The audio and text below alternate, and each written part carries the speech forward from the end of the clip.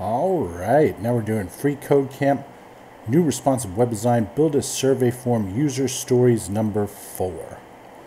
So inside the form element, we are required to enter our name in an input field that has an ID of name and a type of text. Okay, so we're going to make input field down here. So we're going to do open input and then a slash and a close because inputs are input elements are self-closing. We'll have a space there, and then we're going to have an ID of name ID ID equals name type